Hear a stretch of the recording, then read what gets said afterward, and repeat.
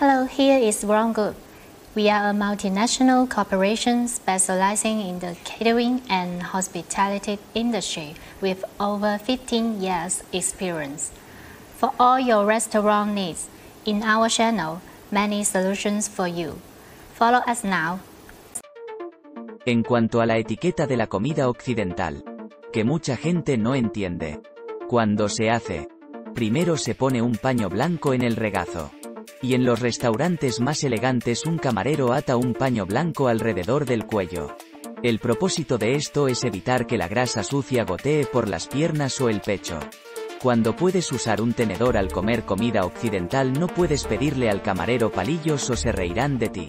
El bistec es el alimento más representativo de la comida occidental. Por lo que siempre nos encontramos con un problema muy embarazoso a la hora de comer bistec. Es decir, el camarero nos preguntará, ¿cómo está cocinado? Probablemente muchos comedores de bistec por primera vez soltarán 8 minutos de cocinado. Porque totalmente cocinado es demasiado viejo. Y otros temen que esté demasiado tierno con sangre. No están acostumbrados a comer. Después de todo, nosotros y los occidentales tenemos diferentes hábitos alimenticios. Por lo que creemos que 8 minutos de cocinado debería ser adecuado para al fin y al cabo tenemos unos hábitos alimenticios diferentes a los de los occidentales. Por lo que pensamos que el término medio debería ser adecuado para nuestro gusto. Sin saber que esa respuesta nos hará una gran broma. En la comida occidental, el bistec raro se divide por grado. Y se distingue por números impares. Principalmente se divide en 1 punto, 3 puntos, 5 puntos, 7 puntos y bistec totalmente cocido. No es de 8 puntos cocidos decir. La próxima vez que vayamos a un restaurante occidental a pedir un bistec, no le digamos al camarero que el bistec está poco hecho durante 8 minutos. Tengamos cuidado de que las otras familias digan que es sucio. Los que han comido filetes saben que, independientemente del juego de filetes que pidan, hay un huevo en el plato. Y sigue siendo del tipo más tierno. Así que ¿qué hace el plato de huevos? Supongo que mucha gente se lo come. Entonces se equivoca.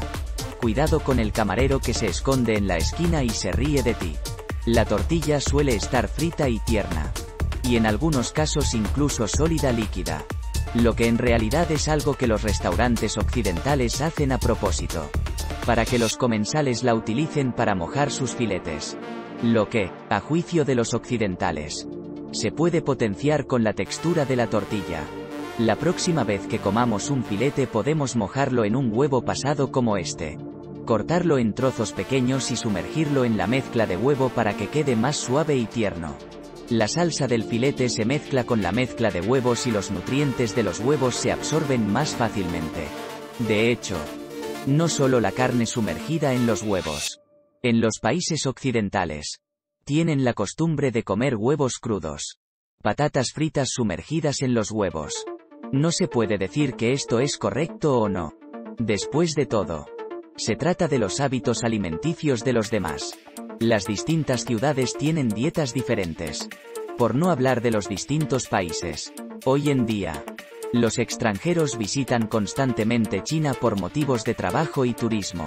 Por lo que hay distintas colisiones y mezclas de dietas. Bueno. Por encima de lo que sabemos cómo comer los huevos en el interior del plato de la cena. En el futuro para ir al restaurante occidental no será ignorante. A la primera vez para comer filete de socios. Todo el mundo parece entender lo que acerca de los problemas de la clase de ingredientes son bienvenidos a dejar un mensaje a mí dentro de la sección de comentarios. Ver qué va a hacer la respuesta a usted. If you are interested in our videos, remember to follow us.